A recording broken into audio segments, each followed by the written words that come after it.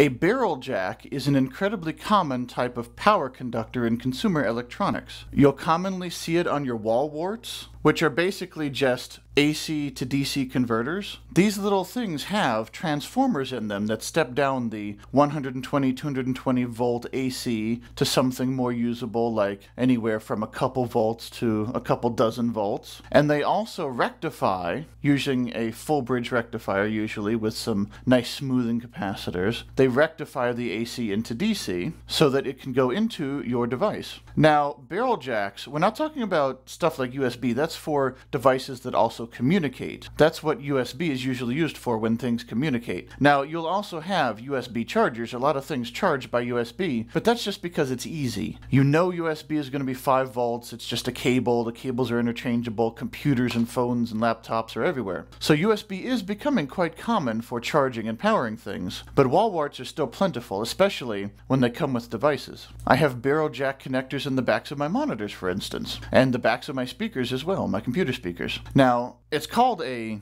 power plug. You know, it's a connector for power just because that's what it's usually used for. There's only two, so that's good for carrying a single circuit, you know, one in, one out line. But it's just a pair of conductors. You can do whatever you want with it. It's going to be uncommon to use barrel jacks for a data signal, especially in the age of USB, but you can. But I'll be talking about power, of course. Now, a barrel jack, there's of course male and female varieties, and it's named similarly to the barrel of a gun or a cannon. The female end, if this will focus, the outside is basically a cylindrical hole, and inside the hole, there's also a largish pin, a very sturdy pin. The pin, which is usually center positive from what I've read, but it doesn't matter, you know, just as long as it agrees on one end and the other, so you don't get it backwards. But your center pin will carry one, and your shell around it is the other connector that carries the other. The male version is a thinner cylindrical shaft, and the outside connects to the outside shell, and the inside goes around the pin. The insulator in here is just air because the pin is in the middle of the metal, and of course they don't connect at the bottom. On the male end, there is a thin plastic little ring here that separates the shell on the outside with the inside, and they connect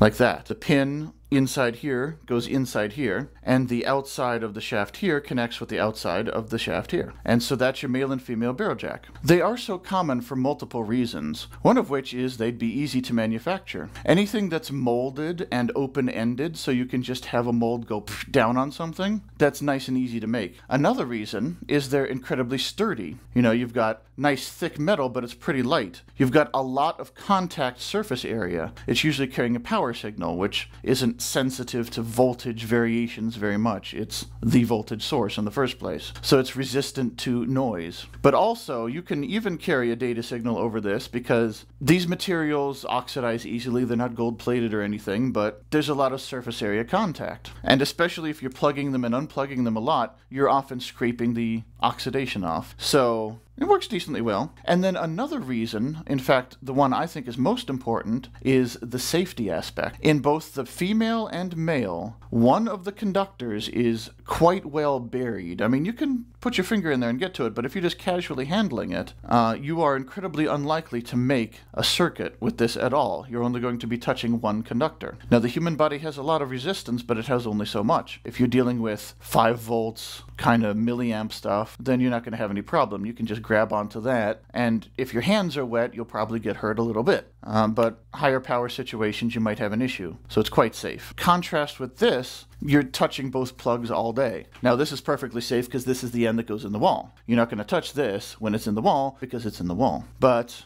the barrel jack end is the end that comes out. So when you've got this in the wall, again, this is putting out lower voltage and lower amperage, so it's not really that big of an issue. But every bit of safety helps, especially with people like me around, as you may have noticed from time to time. Now, these are a couple neat little things I've gotten from SparkFun. First of all, it's a barrel jack switch. So this is just a regular power supply that plugs into your wall, takes the AC, and converts it to DC with the barrel jack. Now that's great and all, And usually your devices are going to have their own power switches, or they're not going to be devices you should be turning off anyway. So that's not a problem. But this is good for hobbyists. SparkFun is a hobbyist website. So this is good for putting into such as an Arduino. An Arduino does not have an on and off switch. It's a very simple device. But you can power it by the barrel jack and the switch is just a male to female continuer. So you take your plug into the wall, plug it in there, plug this into whatever, because you see these are the same plug. It's basically a pass through with a switch on it.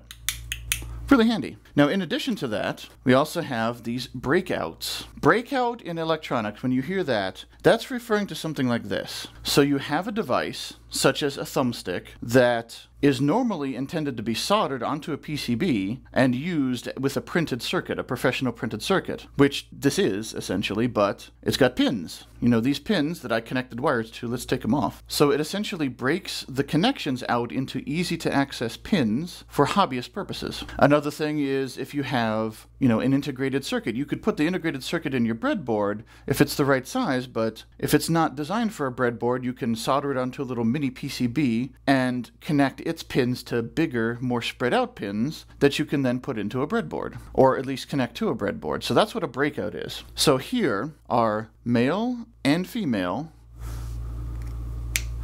barrel jack connectors, but on the other end is two screw terminals. A screw terminal is where you put a wire in, any type of wire really, you stick it in here, and then you screw it down. See, it just comes right out, but if you screw it down, there's two little screws here, so you screw it down, and it tightens, don't over tighten, and it holds it in there so it doesn't fall out. And so now, if I do another one, in fact, let me use different wire, because this is a male to female. So let me take two male to male, and you just put it in the terminal. There's obviously no circuit right now, so it's not hurting anything. So you just just tighten the screw down until it grabs it, so it doesn't fall out. Another one over here. You can do this on a table with clips if it's easier. Need some dexterity for this. So now it's grabbed on to both of these. You know, it's not going to hold if you yank on it, but it'll hold well enough against wiggling. So now Essentially, we can do the same with the other one. So now I've got the other end as well. So I've got two. I've got the, the male one and the female one, both with two little wires out of them. And the purpose of this, again, for example, I have this power supply plugged into this breadboard. Let's say I wanted to power an Arduino or whatever with a barrel jack with that. So I could plug this male end into the Arduino. And it's labeled positive and negative. So the positive end I'm going to put into positive power, the negative into negative. I have 5 volts, so let's turn it up to an amp, and you'll see the Arduino turns on. And it's drawing 25 milliamps. Of course, this is the barrel jack, so it's using its voltage regulator, and it actually wants more than 5 volts. It recommends 9. So there we go. 44 to 50 milliamps with an Arduino that's not really doing much is about right. I think the thing's rated for 200 some milliamps anyway. But there you go. This is one of the uses for it. Again, this is for a hobbyist purpose or a prototyping purpose, where you're not trying to build your final device, you're trying to design the device. You're messing about seeing what works. And you can test out easily different power supplies, different whatevers. If you're using this as a data connection for whatever reason, you can do that. And that's the purpose of the breakout. But additionally, you can use it to test. So you can make sure if you wanted to say, I just purchased these breakouts and I want to make sure that they're actually correct. So what you can do is use your multimeter's continuity mode, or you can hook up an LED with a resistor or whatever to confirm that these wires are correct. So one end is labeled positive on the little plastic shell. So I will take the one labeled positive. Now I'll plug it into my breadboard along with one of the probes of my multimeter. Then I will use the other probe to connect, and it's supposed to be center positive. So I will touch the outer shell, and nothing happens. I will touch the pin inside,